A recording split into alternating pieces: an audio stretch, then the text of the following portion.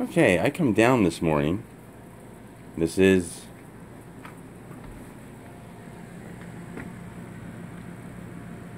the 29th of August. I mean, I'm sorry, the 29th of July. Oh, around 6:30. And there it is. And I know my children will deny its existence. I know they will deny everything. They will blame it on each other. But there it is. It sat out overnight. The milk. Into that bowl. No one could put it away. No one could put it in its final resting place. Deny, deny, deny.